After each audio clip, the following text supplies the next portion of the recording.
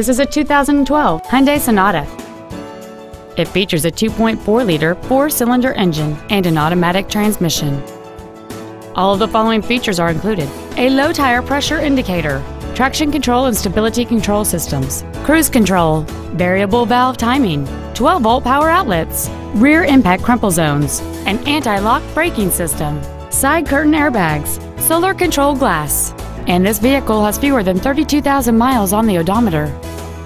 With an EPA estimated rating of 35 miles per gallon on the highway, fuel efficiency does not take a backseat.